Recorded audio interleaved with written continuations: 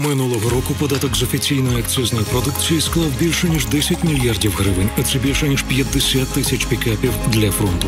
Наші податки, наш захист. О, тепер до Лиманського напрямку. Ярослав Борисовець, командир 44-го батальйону, майор в ефірі. Пане Ярославе, вітаю.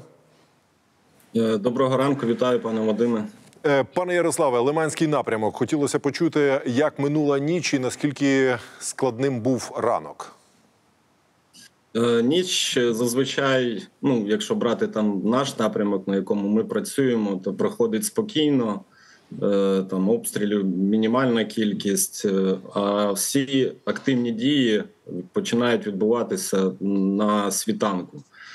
Штурмові обстріли, ну, вся оця, скажімо так, не, не хороша історія, якраз цей період відбувається. От вони, напевно, вночі відпочивають, накопичують сили і е, починають діяти. Е, ну, якщо брати безпосередньо там район нашої оборони, то зараз також на даний час, е, в принципі, все спокійно. От е, вони чуть-чуть лівіше і правіше там пробують штурмувати, тому чекаємо на їхні якісь недобрі, скажімо так, потуги.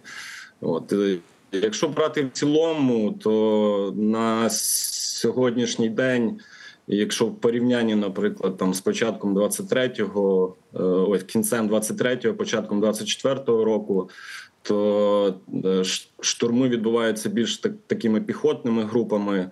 Е, Зараз е, все частіше вони використовують мопедні свої ці підрозділи, які в принципі знищуються набагато швидше. От і дуже ну не то, щоб рідко, але коли використовують бронетехніку, то це для швидкої підвозу піхоти.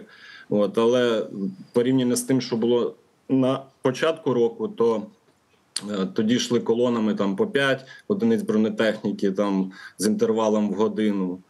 Е, То зараз просто може виїхати там якась е, БРДМ чи, наприклад, е, МТЛБ, завести піхоту, швиденько спішитися і починати працювати. Пане Ярославе, я просто е, дякую за цей за цю відповідь. Я нагадаю нашим глядачам, що поки ми оце спілкуємося з вами, є можливість підтримати е, бійців 44-го батальйону, якраз на Лиманському напрямку, тому що ранки постійно, як ми чуємо від пана Ярослава, на жаль, е, дуже активні. І для того, щоб вони були ефективними з нашого боку. Будь ласка, е, задонатьте, ну, наприклад, е, вартість ранкової кави за оцим QR-кодом або номером картки, який ви бачите на екрані, для того, щоб підтримати наших захисників і щоб вони могли собі поповнити необхідне спорядження. Я хотів е, поцікавитися, чи часто росіяни потрапляють в полон на вашому напрямку, от конкретно у вашому підрозділі. Е, Ну не то щоб дуже часто, але потрапляють. Ну от, наприклад, тиждень тому взяли полоненого. Як виявилося, він е, з Ворошиловграда, ну тобто з Луганська, але в паспорті було вказано, що він народився в Ворошиловграді. Е, В 90-х роках переїхав в Росію. Напевно, там хотів багато грошей заробити. Йому не дуже це вдалося. Е, Тому що при собі мав напевно десь до 15 карт різних банків е, цих мордорських, на яких, ну за його словами, всюди е, велика кількість кредитів. Тому підписав контракт і вирішив заробити на цьому, але не дуже йому це вдалося.